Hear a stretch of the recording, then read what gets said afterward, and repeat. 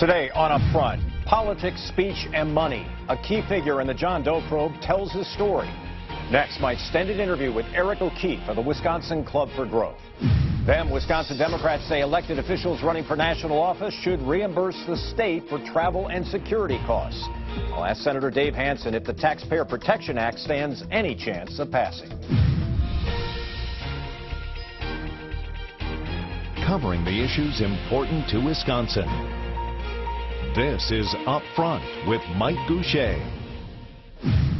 Hello again, everyone, and welcome to Upfront. He's one of the key figures in what's become known as John Doe 2, the secret investigation led by the Milwaukee County District Attorney's Office into alleged illegal campaign coordination among conservative groups in Governor Walker's campaign. The probe has sustained a number of legal setbacks and appears all but dead, but the fallout continues.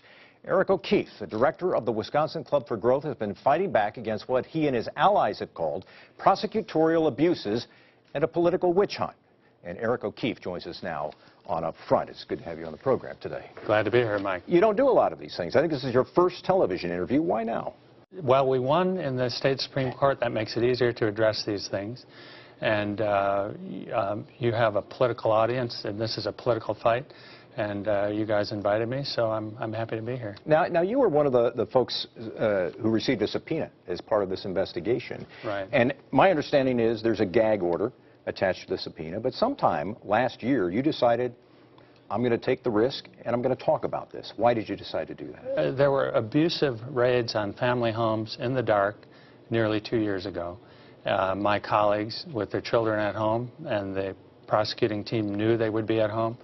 And that, to me, is the most motivating factor. Every day I think of these raids, and I think of the punishment delivered to the children who were traumatized, and we can't undo that. Now, I would rather sit in jail for a year. If I could undo the trauma they delivered and take that away, I'd sit in jail for a year. So as far as I was concerned, they delivered a brutal punishment before I even knew they were after me. And uh, that was a tipping point for you in terms of. As soon as I knew what they had done on these raids in the dark, uh, then I, I knew. Well, actually, I knew I would go public as soon as I read the subpoena because the subpoena, which was a total of seven pages, revealed substantial spying on a private political operation on a whole network of people, some, and then people I don't deal with. So it was uh, a really abusive subpoena asking for records back to uh, the spring of 2009 um, so I knew then that I would have to air this and that I wouldn't be able to uh, keep with the uh, secrecy order. And by the way, you are right, I was subpoenaed, not, uh, did not have my home rated. Mm. I was a target, one of the targets, and there was a last minute decision uh, based on uh, them not thinking the sheriff of Iowa County would cooperate. Uh, th that they didn't raid my house, but they had intended to. I, I want to have you respond to something that, that you know uh, has been in the news in the last few weeks, and that is uh, we read the accounts of the raids in, in publications like the National Review, uh, terrifying stories told by individuals like Cindy Archer, um, and, and, yet a tape, an audio tape is released of that uh, raid on Cindy Archer's home in Madison, and it has a, I would argue, a different tone to it. It sounds more matter of fact. It sounds a little different than what she described. How do you explain that? What, what do we not know about that? Well, the most important thing is that the recording doesn't include the opening minutes. The arrival of the officers. Of the raid, right. So the attorney who works for John Chisholm waited until things had calmed down, until the dogs were out, and the shouting was over, and, and uh, then came in. So they skipped the most dramatic components. I don't know whether they cut anything else out, but just skipping the first minutes. And then I would also ask people, is, is there, is there a kind of a raid on a family home of a peaceful person that isn't abusive? no matter how, I mean, how polite is it when they have flak vests on, guns, police cars out in front of your home? They're, they can act as nice as they want to inside, but it is an abusive raid. You, you feel uh, that this is a political witch hunt, there's nothing else to it, that this was an attempt to intimidate conservative voices in a, in a reelection campaign? Right. This was political from inception, and I'm going back to May 5th, 2010. This is one continuous Doe that they've called Doe 1 and Doe 2.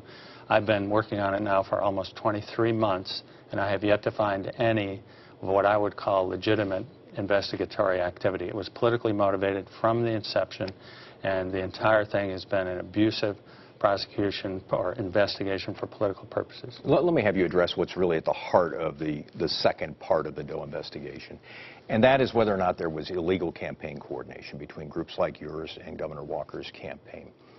And if you look at some of the emails that have been released so far in, in this investigation, uh, they indicate there were correspondences between people on the governor's staff, uh, people who were raising money for the governor, and sent to people with the Wisconsin Club for Growth.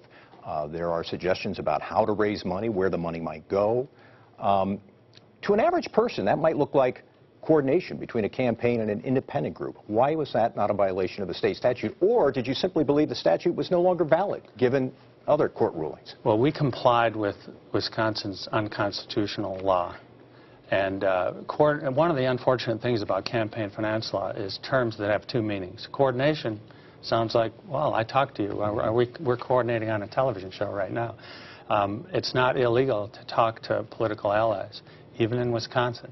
And uh, Kevin Kennedy might not like it, but it's not illegal.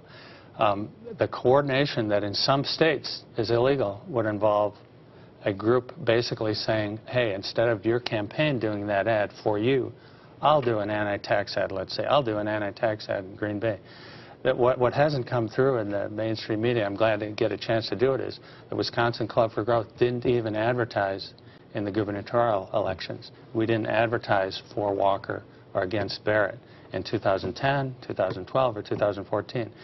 There is no state that has outlawed a candidate working with an independent group that's running issue ads that don't have anything to do with that candidate's campaign.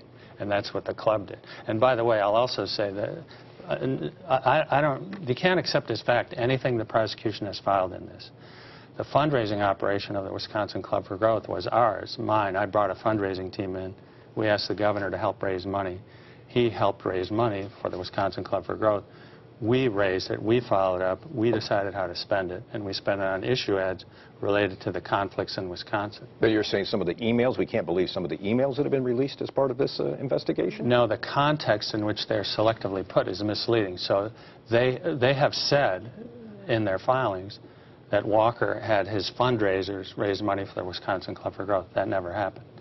Let me uh, uh, pause right now because it's a good point for a, a break in the conversation. When we come, I, I want to talk to you about what you think the legacy uh, of the John Doe is in the state of Wisconsin. We'll continue our conversation with Eric O'Keefe from the Wisconsin Club for Growth in just a moment.